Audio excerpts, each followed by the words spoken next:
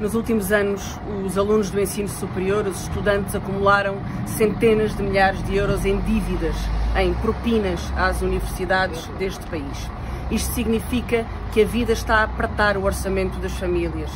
A prestação da casa, o arrendamento da casa, a inflação faz com que as famílias acabem por cortar naquilo que muitas vezes é considerado como não essencial. A capacidade e a possibilidade de um estudante de frequentar o ensino superior não é uma coisa não essencial, é o futuro do país e é o direito à educação de cada um e de cada uma.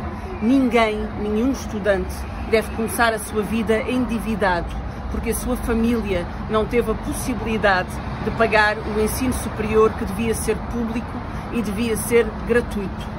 É por isso que o Bloco de Esquerda apresentou um projeto para que, de acordo com os rendimentos das famílias, estas dívidas possam ser perdoadas ou pelo menos o seu pagamento seja facilitado, sem dar lugar ao pagamento de juros.